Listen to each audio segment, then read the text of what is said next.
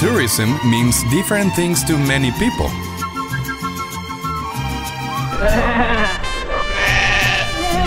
Perhaps you seek out the relaxation of a beach or a spa. Maybe you prefer museums or art galleries.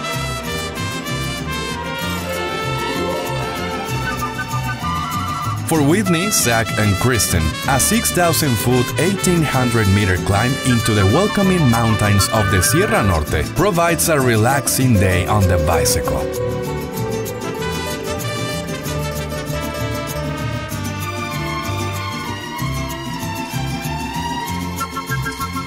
Oh, hell yeah. That's fantastic. Bike Sports Rides Oaxaca. Live now on the MV YouTube channel.